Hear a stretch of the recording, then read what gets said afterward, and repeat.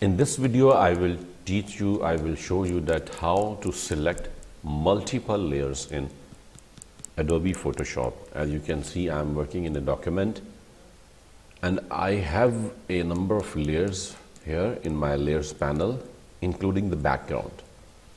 So for instance, I want to select this layer, this layer particular and this one.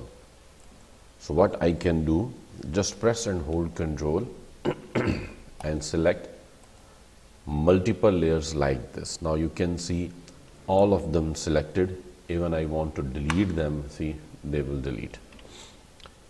So if I want to select multiple layers like from top to bottom, like from here to layer 1, from house layer to layer 1, what I will do, first I will select this layer.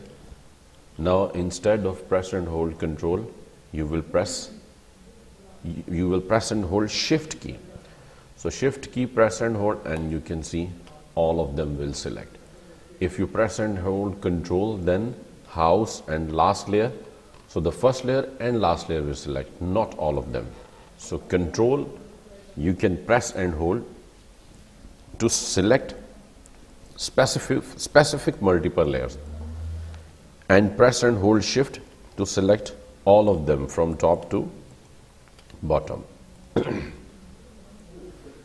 so this is the easy method you can follow to select multiple layers in Adobe Photoshop. Thank you so much for watching this video.